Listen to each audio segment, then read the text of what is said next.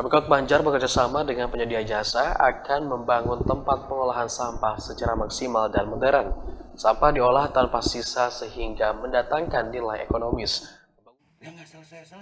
Sampah menjadi salah satu permasalahan yang nyaris ada di setiap daerah. Tidak terkecuali di Kota Banjar. Ya. Pemkot terus berupaya mengelola sampah agar tidak terus bertambah di tempat pembuangan akhir atau TPA. Pemkot Banjar bekerja sama dengan pihak tiga atau penyedia jasa akan membangun tempat pengelolaan sampah di TPS Kami Sama Katapang Purwaharja Kota Banjar. Pengolahan sampah ini mulai dari hulu hingga hilir atau sampah dari rumah langsung diolah menjadi berbagai barang yang lebih bermanfaat.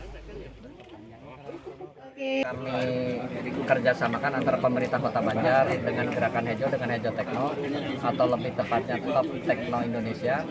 Nah ini bagaimana kita menyelesaikan permasalahan sampah yang ada di Kota Banjar. Jadi inilah bentuk kerjasama dari semua elemen yang sama-sama peduli terhadap masalah sampah, khususnya yang ada di Kota Banjar. Berhasilnya pengelolaan sampah ketika jumlah sampah ke TPA semakin berkurang, semakin berkurang kalau bisa sampai zero.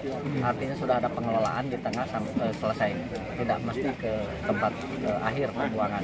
Bagaimana merubah tadi sampah bukan barang kotor tapi juga bisa diolah dan bisa nilai untuk kemaslahatan kita semua ya dan bisa di, di apa di memberikan manfaat itu kita mulai untuk kita berinovasi secara nasional atau di Nusantara ini. Kita ingin jadi ini demplot, jadi Banjar untuk Jawa Barat, Banjar untuk Indonesia. Pembangunan tempat pengolahan sampah ini ditargetkan rampung dua bulan ke depan.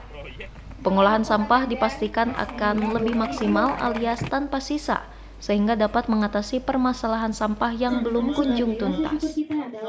Dari Kota Banjar, Sukirman, Radar TV melaporkan.